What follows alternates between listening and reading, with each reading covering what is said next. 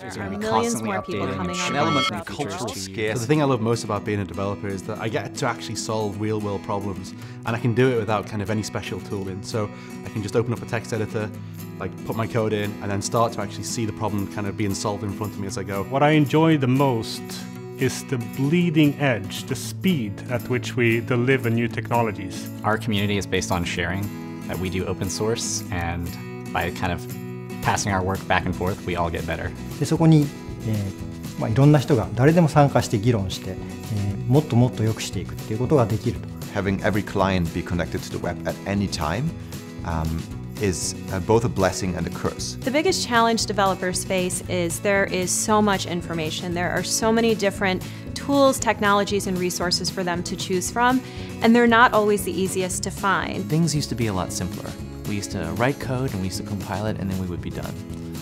Now we've got the web to worry about, we've got mobile to worry about, and then on each of these platforms, there's separate tools. Some days you're just like, I just want to build and I don't want to kind of bridge all these gaps. Even if you stay on top with all the releases and all the API changes, trying to figure out how would a developer use this to provide value to users out there. That is also stressful. What I really hope we see over the next maybe five years is that people get access to good connectivity, cheaper data. Through that, they get access to the whole web. There are millions more people coming online throughout the world.